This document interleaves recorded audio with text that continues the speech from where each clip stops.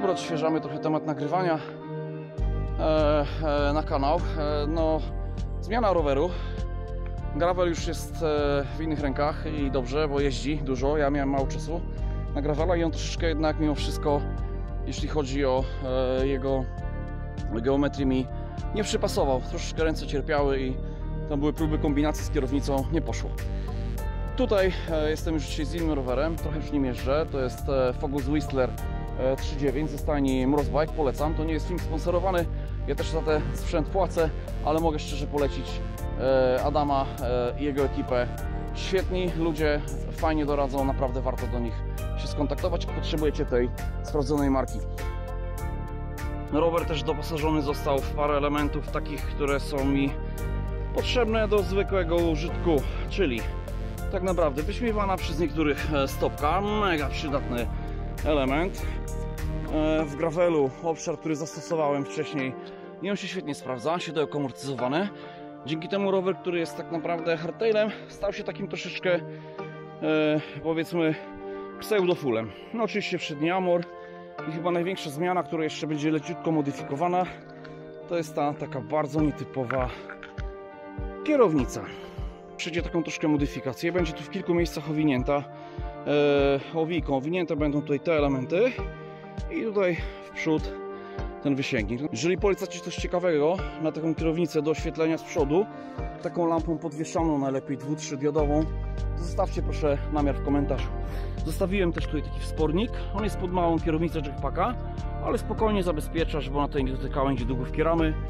Pamiętajcie też, to jest fajna, fajny pomysł. Zobaczcie, oklejone zostały tutaj e, elementy ramy, gdzie torba, tu w tym przypadku jackpack bezpośrednio styka się z ramą, to Wam tam jej po prostu nie poniszczy. Oklejony też jest tutaj dół ramy przed jakimiś tam kamykami. Bezbarwna folia. No i tutaj podobnie zrobiłem z tyłu ten element, tak? Tak jak wspomniałem, tu jest napęd e, 1.12.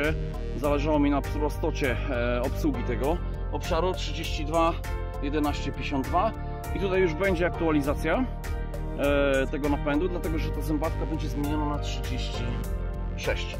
To się będzie wiązało pewnie z leciutkim wydłużeniem łańcucha, ale no, jest do ogarnięcia. Rower sprawuje się świetnie. Będzie dołożony jeszcze jeden bidon. No i szukam też sensownego e, bagażnika, ale mocowanego do sztycy. Jak coś ciekawego polecacie, co tu wejdzie, czyli takiego wygiętego leciutko w górę, no to dajcie proszę znać e, w komentarzu. To warto też zadbać o to, żeby mieć dobry chwyt. Są gripy, ergona, fajne, dobrze trzymają, one nie odchodzą na dół. E, polecam. No i oczywiście ten układ, jak widać, kierownicy, czyli jest kółka. Warto spojrzeć na stare rower, jakie miały kierownice.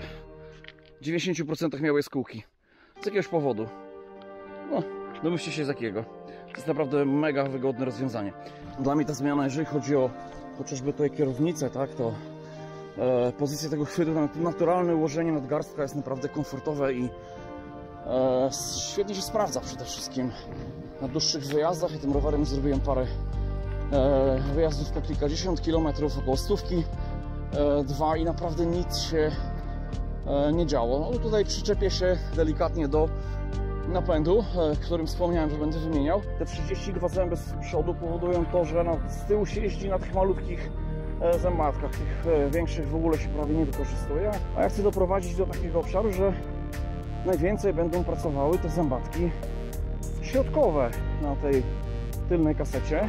Na pewno kontekst bloga też troszeczkę się zmieni, bo w tym roku już dużo pływaliśmy.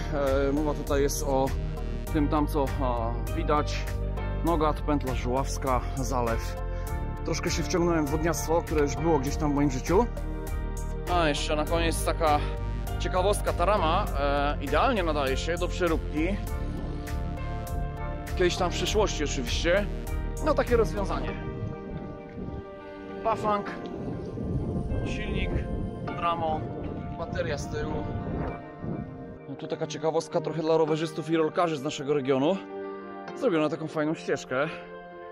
No ma jakieś 2, może 3 km takiego fajnego tartanu. Trzeba będzie chyba w przyszłym roku pomyśleć poważnie o rolkach. Do następnego razu. Cześć!